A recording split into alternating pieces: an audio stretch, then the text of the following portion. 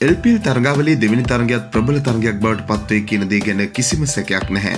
ජැෆ්න කණ්ඩායමත් goal කණ්ඩායමත් අතර තියෙන තරගේ ජයග්‍රහණය කාට ලැබෙයිද කියන එක අනුමාන කරන්න අමාරුයි. කණ්ඩායම් දෙක මෙහෙවන්නේ තිස්සර පෙරවයක බහනුක රාජපක්ෂ. තරුණ ජෆ්න කණ්ඩායම සතු ප්‍රබල අවියක් තමයි තුන්ගරියාව ක්‍රීඩක ශොයිබ් මලික් මලික් එක්ක විදෙස් ක්‍රීඩක විදිහට ජොන්සන් චාල්ස්ගේ ලැබ්‍රඩ් උස්මාන් ශාන්වාරි ක්‍රීඩා කරයි ගොඩක් දුරට ඇබ්‍රෝඩ් සහ ඔලිවර් දෙන්න අතරෙත් කණ්ඩායමේ තැනකට සටනක් ඇතිවෙයි.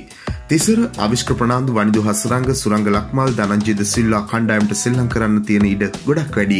එමුණුත් තව ස්ථාන දෙකක් ඉතුරුයි මේ ස්ථාන දෙකට මිනොත් බහනුක එක්ක චරිත අසලංක සෙල්ලං කරන්න පුළුවන් කණ්ඩායමේ සමබර්තාවය ගැන හිතද්දී.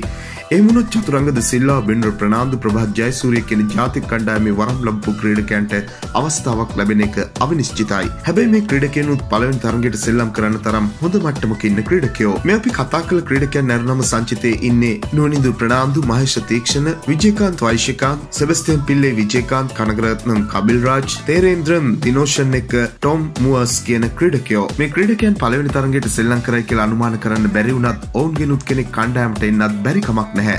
තරගවලි ගාල්ල කණ්ඩායමත් ප්‍රබල කණ්ඩායමක් ලසිත් මාලිංග සෆ්‍රස් අහමට නැතිවුණත් ඇෆ්‍රඩි එක්ක ඔවුන් හොඳ ගමනක් යයි. කොමුණත් පළවෙනි තරගට ඇෆ්‍රඩි වෙනුට බහනුක රාජපක්ෂ කණ්ඩායම් මෙහෙවයි. විදිස් ක්‍රඩකයෝ විදිහට මොහොමඩ් අමීර එක්ක හසරුල්ලා වෝල්ටන් එක්ක අසම් කාන් සෙල්ලම් කරයි. අමීර එක්ක නව පන්දුව අසිත ප්‍රනාාන්දුට ලැබේ ගොඩක් දුරට හම්බතුර තනතිල්ලත් ගාලු සංචිතයත් බලද්දී දඟ පන්දයවන්නන් වැඩි වශයෙන් කණ්ඩෑම්ට එයි කියලා අපිට අනුමාන කරන්න පුළුවන්. ඒ මුණොත් අකිල දනංජය ලක්ෂන් සඳකැන් කණ්ඩෑම්ට සෙල්ලම් කරයි.